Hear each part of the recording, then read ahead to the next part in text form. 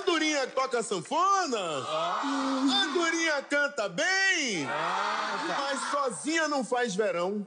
Porque ela precisa de um coletivo de coisas. Uma andorinha bonita, né? Precisa de uma banda, uhum. precisa de uma